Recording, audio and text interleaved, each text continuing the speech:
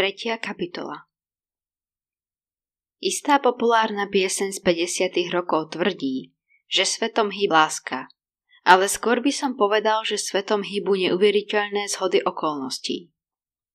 Rufus Derborn, ktorý v ten večer bol v izbe číslo 1414 o niečo bližšie pri výťahoch, pôsobil ako obchodný zástupca spoločnosti šiacie stroje Singer. Jeho pôsobiskom bol Texas a do New Yorku ho pozvali na rozhovory o povýšení. A tak sa stalo, že zhruba 90 rokov potom, ako z izby číslo 1408 jej prvý obyvateľ vyskočil oknom v ústrety istej smrti, ďalší obchodník so šiacimi strojmi zachránil život človeku, ktorý sem prišiel, aby mohol napísať reportáž o izbe, kde údajne strašilo. Možno je to trochu zveličené a Mike Enslin by prežil, aj keby v tej chvíli nebol na hotelovej chodbe nikto iný už ani nehovoriac o chlapíkovi, ktorý sa práve vracal do svojej izby od automatu na rad. Ale keď vám horí celý predok košele, nie je to nejaký žart. A určite by bol utrpel oveľa horšie popáleniny, keby nebolo Derbornovej rýchlej reakcie. Nie, že by si Derborn presne pamätal, ako sa to zbehlo. Pre noviny a televíziu vytvoril dosť súvislý príbeh – Páčila sa mu predstava, že by sa stal hrdinom a že jeho ducha prítomná reakcia rozhodne nemohla uškodiť ani ambíciám na postup vo filme, no v skutočnosti si jasne pamätal len na to, ako z jednej izby vybehol horiaci človek a to ostatné sa mu strácalo v hmle. Keď o tom neskôr rozmýšľal, bolo to ako keby ste sa pokúšali zrekonštruovať, čo ste robili počas najväčšieho alkoholového opojenia svojho života. Jednou vecou si bol pomerne istý, no reportérom povedal, lebo to nedávalo zmysel. Ten horiaci chlapík kričal čoraz hlasnejšie, ako keď niekto pridáva hlasitosť na stereosúprave. Bol priamo tam pred ním a výška tónu sa nemenila, ale hlasitosť rozhodne áno. Pripomínal neuveriteľne hlučný blížiaci sa stroj. Dermor sa k nemu rozbehol s vedierkom plným ľadových kociek. Horiaci chlapík. Horela na ňom len košeľa, to som zbadal hneď, povedal reportérom. Narazil do dverí oproti izbe, z ktorej vybehol, odrazil sa od nich, zatackal sa a dopadol na kolená. Vtedy bol už Derborn pri ňom. Priložil nohu k rukávu košele vrieskajúceho chlapa, ktorý už oblizovali plamene a prevrátil ho na dlažku pokrytú behúňom. Potom na ňo vysypal celý obsah vedierka s ľadom. Tieto spomienky zostali v jeho mysli rozmazané, no vedel si ich ako tak vybaviť. Spomínal si, že plamene na horiacej košeli vydávali až neuveriteľne veľa svetla. Palčivej žlto-oranžovej žiary. Pripomenulo mu výlet, na ktorý sa s bratom vybral pred dvoma rokmi počas pobytu v Austrálii. Prenajali si terénne auto s náhodom na všetky štyri kolesá a prechádzali veľkou austrálskou púšťou – ako bratia Derbornovci zistili, hrska miestnych usadlíkov ju nazýva Veľká austrálska kurva. Bol to čertovský výlet, skvelý, ale niekedy dosť strašidelný. Najmä tá veľká skala uprostred, Ayers Rock, pôsobila dosť čudne. Dostali sa k nej krátko pred západom slnka a svetlo, ktoré sa od nej odrážalo, bolo presne také. Palčivé a zvláštne. Človek by si takmer pomyslel, že nepochádzalo z tohto sveta. Kľakol si k horiacemu mužovi, ktorý už nehorel. Iba sa z neho čadilo a bol pokrytý kockami ľadu. A prevalil ho, aby zadusil aj posledné plamienky, čo sa mu plazili po boku chrbtu košele. Všimol si vtedy, že neznámy má pokožku na ľavej strane krku odčadenú, červenú a plnú plusgierov a že sa mu akoby trochu roztopil ušný lalôčik, ale inak inak. Derbor zdvihol pohľad a zamerilo sa mu. Znie to bláznivo, ale zamarilo sa mu, že dvere na izbe, z ktorej vybehol ten človek, naplňa pálčivá žiara západu slnka v Austrálii. Horúce svetlo zalievajúce prázdnu pustatinu, kde by mohli žiť tvory, aké ľudské oči nikdy nevideli. Aj ten hlboký vzduchot pripomínajúci elektrickú ondulovačku, ktorá sa zúfalo usiluje prehovoriť ale zároveň aj fascinujúce. Chcel do nej vojsť. Chcel sa pozrieť, čo je za ním. Možno aj Mike zachránil život Dearbornovi. V každom prípade si uvedomil, že Dearborn stáva, ako by ho Mike úplne prestal zaujímať a že sa mu na tvári odráža to palčivé, pulzujúce svetlo, ktoré vychádzalo z izby číslo 1408. Spomínal si na to lepšie, než neskôr Dearborn, i keď prirodzene Roof Dearborn neskončil tak zle, že by sa musel podpáliť, aby prežil. Max chytil Dearborna za mančetu jednej nohavice. Nechoďte tam, povedal zlomeným, akoby začadeným hlasom. Už by ste odtiaľ nikdy nevyšli. Dermor zastal a pozrel na červenajúcu tvár muža na koberci pokrytú pluskermi. V tej izbe straší, dodal Mike. A ako keby tie slova boli nejakým talizmanom. Dvere na izbe číslo 1408 sa zúrivo zabuchli a odrezali svetlo i hrozné bzučanie, ktoré takmer pripomínalo slová. Rufus Derborn, Jeden z najlepších manažerov firmy šiacej stroje Singer sa rozbehol k výťahom a spustil požiarný poplach. Štvrtá kapitola V 16. vydaní publikácie Liečba obetí popálenia Diagnostický prístup, ktoré vyšlo približne 16 mesiacov po Majkovom krátkom pobyte v izbe číslo 1408 hotela Delfín, je zaujímavá fotografia Michaela Enslina. Je na nej iba bezlavé torzo, ale ľahko spoznáte, že je to on. Dá sa to zistiť podľa bieleho obdĺžnika na ľavej strane hrudníka. Pokožka všade okolo neho je zúrivá červená, na niektorých miestoch ju pokrývajú plusgiere, aké vznikajú pri popáleninách druhého stupňa. Bielý obdĺžnik označuje ľavé náprsné vrecko na košeli, ktorú mal v ten večer oblečenú košedy, ktorá mu nosila šťastie a v ktorej vrecku sa skrýval miniatúrny magnetofón. Sám prístroj má zmeknuté z časti rozcičené rohy, ale napriek tomu stále funguje. A aj kazeta, ktorá v ňom zostala, je v poriadku. V poriadku nie sú len veci, ktoré sú na nej nahrané.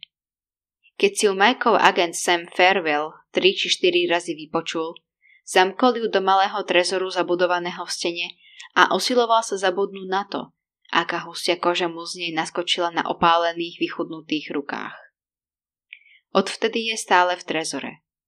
Ferel nemá najmenšiu chuť vybrať ju z neho a prehrať, či už sám pre seba, alebo pre zvedavých priateľov, ktorí by pokojne vraždili len preto, aby si ju mohli vypočuť. Svet newyorských vydavateľstiev je malý a také veci sa rýchlo rozkriknú. Na tej páske sa mu nepáči Majkov hlas, ani veci, ktoré hovorí. Mojho brata v skutočnosti zožrali vlky v zime na diálnici v Konektitute. Čo to má pre živého boha znamenať toto? A zo všetkých najmenej sa mu páčia zvuky ozývajúce sa v pozadí, akési šuštivé plačkanie a bzúčanie. Za všetko pripomína bielizeň krútiacu sa v pubne práčky, do ktorej nasypali priveľa pracieho prášku inokedy jednu z tých starých elektrických ondulovačiek. A niekedy, čo ako je to čudné, artikulovanú reč. Kým bol Mike ešte v nemocnici, akýsi chlapík menom Olin, manažer toho prekletého hotela, len si to predstavte. Prišiel a požiadal sa ma Ferela, či by si tú pásku nemohol vypočuť. Ferel mu povedal, že nemohol. Môže len rýchlo odísť z jeho kancelárie a celou cestou až do tej svojej blchárne ďakovať Bohu, že sa Mike Ensley nerozhodol zažalovať hotel alebo jeho osobitne pre zanedbanie povinnej starostlivosti. Pokúšal som sa ho presvedčiť, aby tam nechodil, odvetil pokojne Olin. Ako na človeka zvyknutého celé dni počúvať sťažnosti unavených cestovateľov a podráždených hostí na všetko možné, Počnú s izbami a končia s výberou titulov v hotelovom stánku s časopismi, na ňo Ferelova nevraživosť veľmi nezapôsobila. Skúšal som všetko, čo bolo v mojich silách.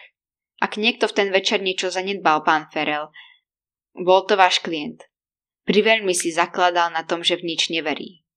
To bolo od neho nemúdre, až nebezpečné. Myslím si, že sa v tomto ohľade zmenil. Napriek svojmu odporu voči kazete by Bol Ferel rád, keby si ju Mike vypočul a prípadne ju využil ako podklad na napísanie novej knihy. Ferel vie, že to, čo Mike zažil v tej izbe, by vydalo na celú knihu. Neren na 40 stránkovú kapitolu do tej, ktorú už mal rozpísanú. Tá kniha by sa predávala lepne všetky tri diely série desiatich nocí dokopy. Prirodzene, neverí Majkovým ubezpečovaniam, že skončil nielen s písaním duchárskych príbehov, ale aj s písaním ako takým. Spisovatelia z času na čas tvrdia takéto veci. To je všetko. Je pre nich typické, že sa zavčas správajú ako primadony. Čo sa týkalo samého Michaela Enslina, keď sa to tak vezme, vyviazol z celej situácie so šťastím a je si toho dobre vedomý.